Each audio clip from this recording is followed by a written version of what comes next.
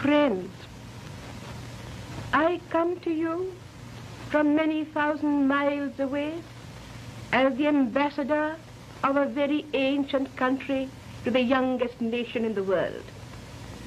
It may surprise you that a country which you are taught to regard as conservative should have chosen a woman to be its representative and ambassador.